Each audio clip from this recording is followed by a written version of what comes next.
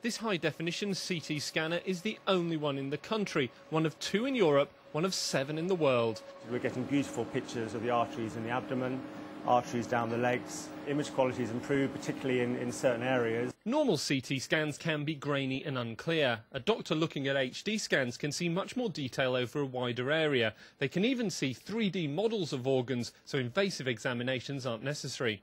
Already the RBH can treat patients it used to send elsewhere. This is actually a sterile environment, which is why I'm in my shirt sleeves, but despite that, the machine is in use constantly. We've been here about an hour and already seven patients have been through.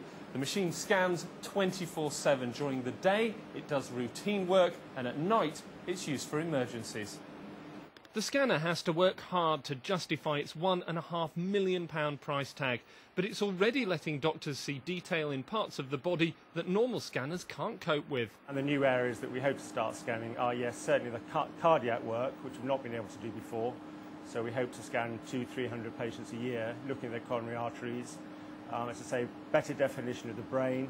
Another area we want to start scanning on is the colon. With demand set to increase, it's a good job the hospital have bought only the second HD scanner in the UK as well.